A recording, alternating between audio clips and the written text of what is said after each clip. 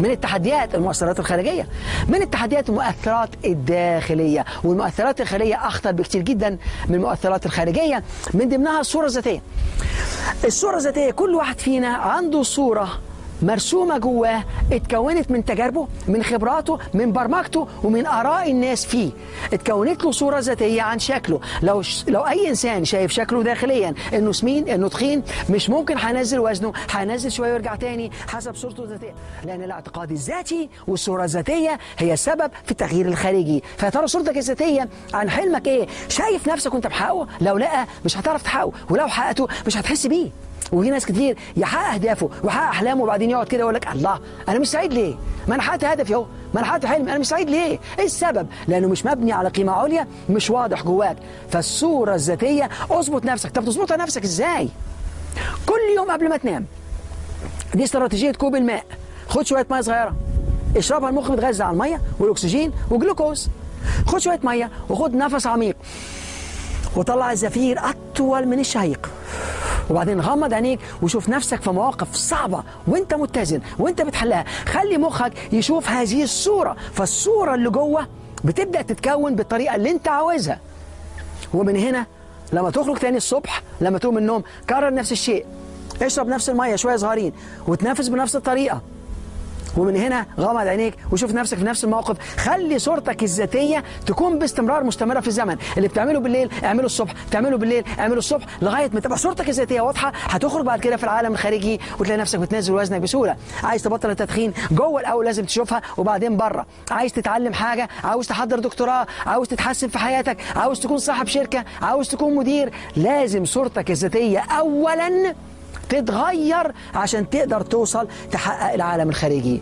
فمن ضمن التحديات الخطيرة بالنسبة للإنسان المؤثرات الداخلية ومن ضمنها الصورة الذاتية. من ضمن التحديات التغذية التقدير الذاتي إن الشخص مش متقبل نفسه زي ما هو. بيقارن بينه وبين الناس. أنا فاكر في وقت من الأوقات واحد جه قال لي يا أخي شوف أنا شكلي وحش إزاي؟ أنا شكلي وحش جدا. يعني إزاي ممكن أحقق أهدافي؟ ده أنا شكلي وحش. عمال يقول لي شوف حسين فهمي حلو إزاي؟ حلو. ليه أنا؟ أنا عايز أكون زيه قلت له يا أخي قارن بينك وبين اسماعيل ياسين وأنت هتبقى كويس إن شاء الله. إشمعنى تقارن بينك وبين ده؟ فأنا بقول لك حاجة ما تقارنش بينك وبين ده. ربنا سبحانه وتعالى خلقنا حلوين زي ما إحنا كده. 24 إيراد. يمكن أنت قصير شوية لكن عبقري. واحد يكون طويل شوية لكن يكون كل واحد ربنا ظبطه أكنها بالظبط. ذهب 24 قيراط. كلنا عندنا ولو حاجة واحدة أحسن من بعض. فعشان كده فتش جواك دور جواك وتقبل نفسك زي ما انت وقدر نفسك زي ما انت لأن ده التقدير الذاتي. وحب نفسك زي ما انت. أنا أول مرة قلت الحب الذاتي ناس قالوا لي يا دكتور لأ وده مش مظبوط وحب الذات حرام. في فرق عشان كده في مشكلة دي في ال self esteem دي في التقدير الذاتي بينقسم للتقبل الذاتي والتقدير الذاتي والحب الذاتي. إن أنا بحب هديتي زي ما أنا. شكلي وشعري وشكلي وإيديا بحب نفسي زي ما أنا. ما ببصش في المراية. أنا شفت ناس بيجوا لي في استشارات في عياداتي ويقول لي أنا ببص في المراية مش طايق نفسي. واحد بيهزر بيقول لما أشوف ببص في المراية. أقول هو كده بس؟ مش أحلى. أنا شفت واحد بص في المراية وتف وخرج من كتر ما مش طايق نفسه. تو وراح ماشي. ما ينفعش. لازم تحب نفسك زي ما أنت. لازم تقدر نفسك زي ما أنت. لأن في خلال ما أنت بتحقق أهدافك كل ما أنت بتعمل حلمك اللي أنت هتحقق بيه حلمك هو ده. هو ده. زي ما انت في نفس المكان. فعشان كده حسن نفسك وحسن أحلامك وقوي قدراتك كل يوم. فده من ضمن المؤثرات الداخلية الصورة الذاتية والتقدير الذاتي. الحاجة الثالثه داخليا الثقة في النفس. على فكرة الثقة في النفس هي الفعل. إنك تحط نفسك في الفعل في حاجة بسيطة. لما تنجز هتنبسط من نفسك هتقدر نفسك هتزيد ثقتك في نفسك. فشوية شوية وفتش دور اقرأ كتب حسن نفسك كل يوم. اعمل تغيير في حياتك ولو بسيط. عشان التحديات الداخلية ما تأثرش فيك. فأنت عندك البرمجة الخارجية البرمجة اللي أنت اتعلمتها من العالم كله اللي خدتها من السبع أركان من الأب والأم وبعدين المحيط العائلي وهكذا. اتبرمجت من العالم الخارجي يبقى ممكن تغير هذه البرمجة. المؤثرات الخارجية اللي فيها آراء الناس المؤثرات الداخلية اللي فيها الصورة الذاتية والتقدير الذاتي والثقة في النفس. اشتغل بدول هتبقى جاهز إنك تجهز نفسك لإيه؟ إنك تعيش حلمك. إنك فعلا تعيش أحلامك لأنك ممكن فعلا تعيش أحلامك. إذا كان الجماعه اللي عملوا الطيارة عايشين أحلامهم أنت كمان ممكن تعيش حلمك. دلوقتي خليني بقى أسألك سؤال. للمرة السابعه قلتها سبع مرات إيه حلمك؟ إيه اللي عايز تحققه؟ عايز تبقى إيه؟ عايز تكون إيه؟ عايز تصبح تعمل إيه؟ اللي انت نفسك تعمله أو تصبحه أكتر من اي حاجة تانية في حياتك. بس هنا خد بالك لما تقول أنا عندي حلم عاوز احققه خد بالك. تقول أنا نفسي احققه ولما احققه طول ما أنا ماشي بتمتع بالرحلة وحاجات كتير جدا هتتحسن في حياتي. فتقبل نفسك زي ما انت في الوقت اللي انت فيه وتتطلع بعد كده للمستقبل. في إيه حلمك الحلم في المستقبل. في إيه حلمك. اقعد دلوقتي ورقة وقلم. اكتب حلمك. دلوقتي. ادي دورة الأحلام. اللي أنا وعدتك بيها أكتر من مرة. الحلم عبارة عن فكرة. ففكر في الحلم اللي أنت عاوزه.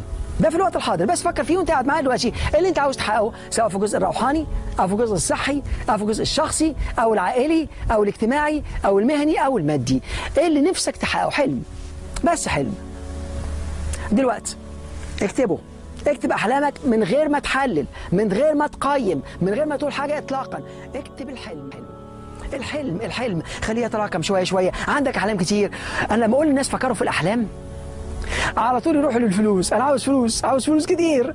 أما أقول لهم حط إيدك اليمين كده وقول أنا التسامح بيقترب إلي والحب بينجذب أول ما أقول لهم فلوس يعملوا كده. على طول عايزين فلوس تنجذب إلي لأن الفلوس أكبر من الحياة. آه بس خد بالك لو أنت ما تستحقهاش مش هتيجي ولو جات لك هتبقى فتنة وهتجنك فلازم تكون جاهز داخليا تنظف نفسك علشان ما تجيلك. تبقى مادة الجزء المادي روحاني. فالله سبحانه وتعالى يبارك لك فيه أكتر وأكتر وأكتر وأكتر. ومن هنا لما تسأل نفسك إيه حلمي؟ وإيه اللي هيتحسن في حياتي؟ بسبب إن حققت فعلا هذا الحلم. فدلوقتي اكتب أول حاجة إيه الحلم اللي أنت عاوزه؟ فدي أول حاجة بتبدأ إيه الفكرة؟ طالما جت فكرة مجرد فكرة. عشان كده لما بدأت في الأول خالص قلت لك كان حلما فخطرا فاحتمالا ثم أصبح حقيقه لا خيالا. الحلم بقى خاطر بفكر فيه. وبعدين بقى احتمال إمكانية وأمل. وبعدين أصبح حقيقة. وحطيته في الفعل. أصبح واقع السيارات واقع وما عندكش فكرة عن التقدم العلمي اللي بيحصل اليومين دول. كل حاجة بتتحرك بسرعة الموبايلات فيها فاكسات وفيها إيميل وفيها كل اللي تتخيله. ما كانش موجود قبل كده. لو كان معاك موبايل وفتحته قدام أي بلد من 50 سنة كانوا حرقوك في الشارع. كانوا عندك عندك جن ولا حاجة. النهارده أصبح موجود في كل حتة عادي وعارف وأصغر. إيه السبب؟ أحلام. أحلام ناس. بص الطب كل حاجة بتتعمل. زمان عمليات جراحية كانت بتاخد وقت طويل جدا وكانت بتاخد معدات دقيقة. دلوقتي ممكن تتعمل بالليزر وبتتعمل أسرع. الهندسة أي حاجة في الدنيا. شوف أي حاجة هتلاقي. فيها تقدم علمي وفيها تقدم بشري. طالما في نمو بشري في تنمية بشرية وفي تنمية روحانية. طول ما أنت ماشي حاجات بتتحرك. فليه أنت ما تكونش من هذه التحركات؟ عشان كده خد بالك من الثلاث مبادئ دول. المبدأ الأولاني خد بالك المبدأ ده مهم جدا وأنا طول عمري عايش بالمبدأ ما فيش حاجة في الدنيا اسمها فشل.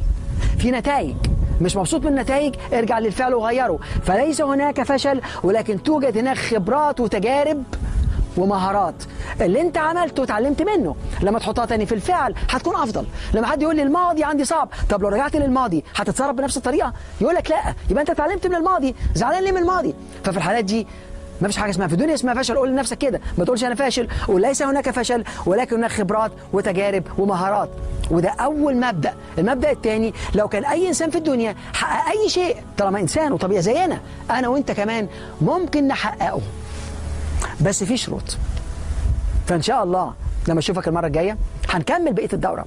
وهنتكلم على هذه الشروط عشان نقدر إن شاء الله نعيش حلمنا ونسيب بصماتنا في الدنيا ما إحنا عايشين عايشين. فتسيب بصماتك في الدنيا لما تمشي من هنا عاوز الناس يعرفوا إيه؟ عاوز الناس يتعلموا إيه؟ عاوز الناس يقولوا عنك إيه؟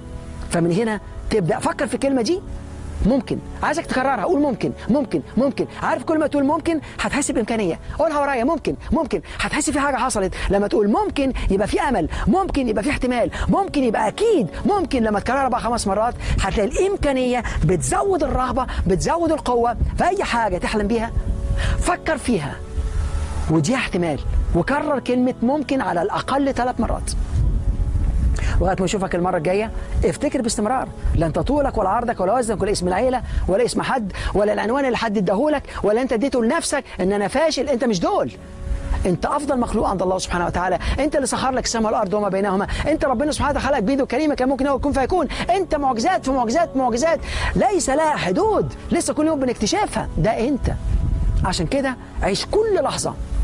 كأنها آخر لحظة في حياتك لأن والله ممكن تكون آخر لحظة في حياتك.